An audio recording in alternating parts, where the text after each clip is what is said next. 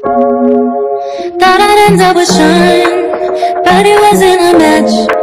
Wrote some songs about Ricky, now I listen and laugh. Even almost got married, and for Pete I'm so thankful. Wish I could say thank you to